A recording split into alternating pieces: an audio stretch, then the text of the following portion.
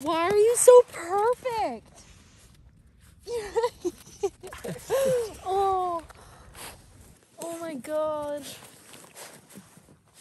Oh, he has no idea. He has not one clue.